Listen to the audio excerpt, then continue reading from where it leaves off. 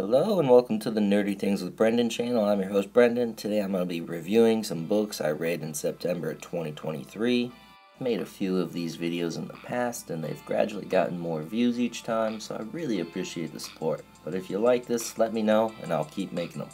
The first book I read this month was DCeased Dead Planet. I'm a big fan of DCeased so far and each book I've read has not let me down the original DCeased was awesome. I love it.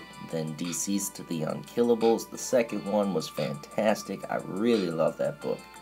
And now I read this one and I thought it was fantastic as well.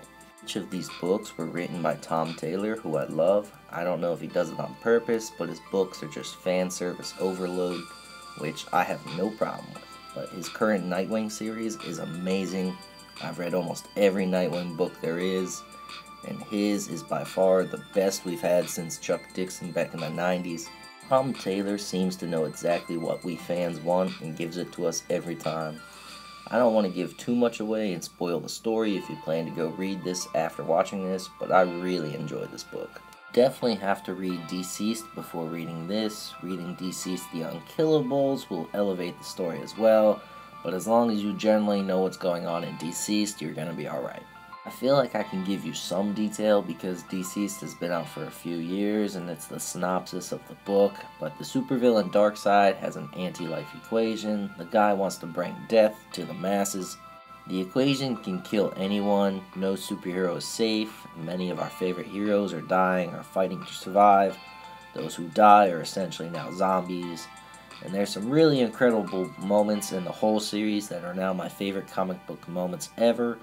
I won't tell you which book so I don't ruin anything, but Jason Todd driving the Batmobile with an undead Joker strapped to the hood was damn near the coolest thing ever. This book, DCeased Dead Planet, sees the survivors after five years of fighting the anti-life equation. I think my one criticism in this is there's multiple plot threads throughout and most are wrapped up by the end, but there's one huge one just left unanswered. Now, why is that? Because it's the plot of the next book. It leaves you wanting more. But if you're looking for a nice, complete story, this one does leave you on a bit of a cliffhanger. That, and there's some really dumb moments that drove me nuts.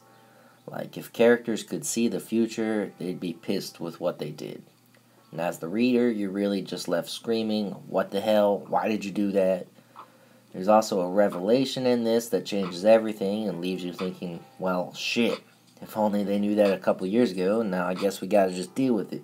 Additionally, I'm not a huge fan of John Constantine. I like him, but he really shines in this book, and now I kind of want to go read his comics. He's great in this book.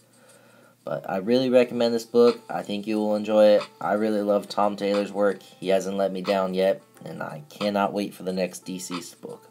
After reading DCeased Dead Planet, I wanted to get caught up on the Darth Vader series, so the next book I had to read was Darth Vader Volume 6, Return of the Handmaidens, and in my opinion, the Vader comics are very good. Years ago, when Disney bought Star Wars, they started a Vader series to fill in the gaps between the movies and tell their version of Star Wars. All the older Star Wars comics were then labeled Legends and don't count now first Vader series took place between episodes 3 and 4, and it was phenomenal, so good. The second series was in between episodes 4 and 5, and it's still pretty good, but not as good as the last one. And the current series is taking place between episodes 5 and 6, and it's pretty good so far. I really like it. I have to spoil a little bit of the story to tell you what's going on, so if you don't want to hear it, skip ahead a minute. In The Phantom Menace, we saw Padme Amidala had handmaidens that would dress as her to keep her safe. In the Vader series, we see some of these handmaidens had survived the fall of the Republic and the rise of the Empire. Vader finds these girls and is sentimental because they look similar to Padme because they would act as her doubles. But one of these girls is Sabe, the handmaiden played by Keira Knightley in The Phantom Menace. The Vader series has her team up with Vader and it's been quite good so far. In this book, the surviving handmaidens come looking for Sabe, believing she is being held captive by Vader and being forced to do things she doesn't want to do. And I really like this series so far. I like seeing a sentimental Vader. At this time, he knows he has a son with Padme. He's met Luke and tried to bring him to the dark side. It's all leading up to his redemption in the Return of the Jedi. It works really well, and this storyline makes a ton of sense and really enforces his return to the light side. It shows there really is still good in him. It also helps reinforce episode 3 and Anakin's fall to the dark side. He regrets his decisions and everything he did was for love and to save Padme. And I always felt like Vader really just feels stuck in his current situation. It's the classic Yoda line fear leads to anger, anger leads to hate, hate leads to suffering. We've seen him through all of these stages. He was scared to leave his mother and join the Jedi, scared to lose Padme, angry at the Tuskens who almost killed his mother, angry at the Jedi. He's full of hate, kills the Jedi's, falls to the dark side, and now he's suffering as Vader. He's lost Padme, and he can't undo what he's done. The Obi Wan TV show also helped show that he's now stuck and regrets what he's done. He tells Obi Wan, I am not your failure, Obi Wan. You didn't kill Anakin Skywalker, I did. So Vader now accepts his decisions and his fall to the dark side. He wants to return to the light, but it's just too late for him. But I really like this series. I think the idea to bring in the Handmaidens was genius and bring out that more sentimental side of Vader and really reinforce his redemption and Return of the Jedi. I really recommend this book. I thought it was fantastic. After reading Vader Volume 6, I also had to read Vader Volume 7, Unbound Force. Now, this book doesn't even come out until after this video will on October 10th, 2023. So I'm sure some people are wondering how I read this. If you go down to the description of the book, it tells you what issues are contained in the book, and you always want to check between the Kindle version, the paperback version, and the hardcover because sometimes they're different and sometimes the descriptions are wrong. So, by checking multiple sources, it reinforces what you actually want to read and what actually is in the book. I then go read the issues, and thus I read the book. And there's a lot of people who say that's kind of messed up, and then it, I didn't buy the book and support comic companies, but I can honestly say doing it this way, I read and buy far more books. There's a website that has so many comic series on it for free. You just got to deal with ads. And there's actually a ton of sites that do this. I made a video talking about one of those sites, and I'll list it here for you. But before this, I was afraid to read some comic series because no one wants to buy a book and then it sucks. So now I can read whatever I want, and if I like it, I then buy the book. Doing this, I've read far more comics. Some I never would have read before. And then, if I like the book, I like having a physical copy. So I go and buy it, I put it on my shelf, and then if it's on my shelf, I know I really liked it. So before anyone yells at me for not supporting comic books, I'm reading and buying far more comics than ever before. If anything, I'm supporting them way more now. I can read all these series, talk about them here, maybe inspire someone else to read them. It's beneficial, so don't be a dick. But back to the Vader book. Star Wars Darth Vader Volume 7 Unbound Force. This one continues the story in Volume 6. It's called Unbound Force because the Empire finds an old artifact that wreaks havoc on all Force users. They essentially lose control of their abilities and now they're far more powerful than before. So this book deals with an out of control Vader, which is pretty badass. And truthfully, it would have been better based on that plot. It's still pretty good. I liked it, but I think the idea of an out of control Vader is really cool but what they actually do in the book, it's just not quite what you want. After catching up on the Vader series, I wanted a short read that's been on my list for a while, so I checked out X Men Psylocke.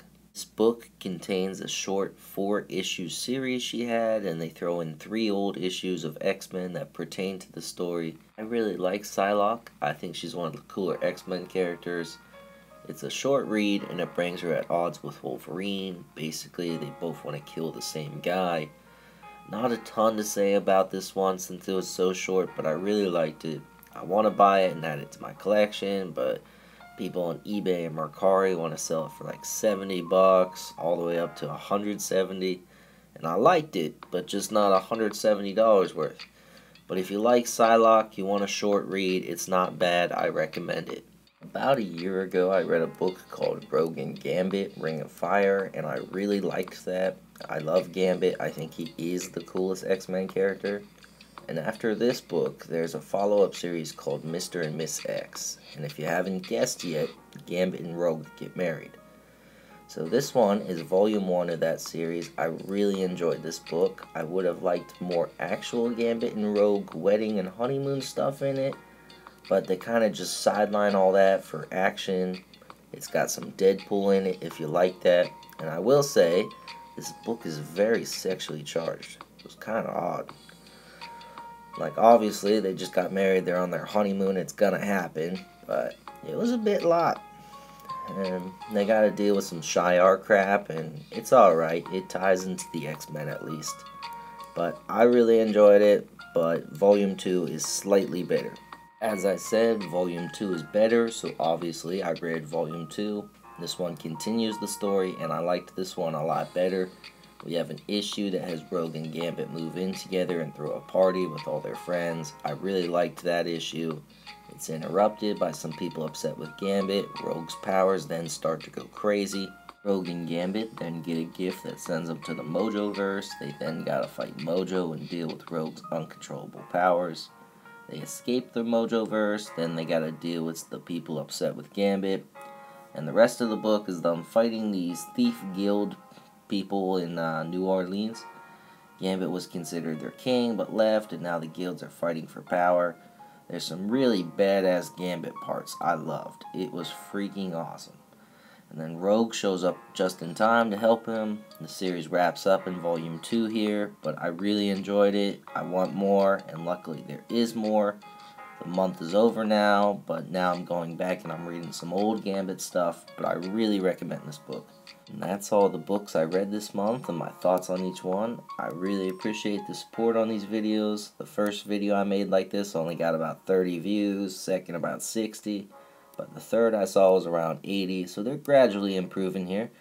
And I think this one's the fourth or fifth, but I'm glad to see you guys like these videos. And if you want to see more like them month to month, say more in the comments below. It's a quick three seconds for you, but it means a lot to me, so I really appreciate it. But please like and subscribe if you like this video. Check out my Facebook page for exclusive insights into new videos and updates on my channel. Thanks for watching. I'll see you in the next video. Bye.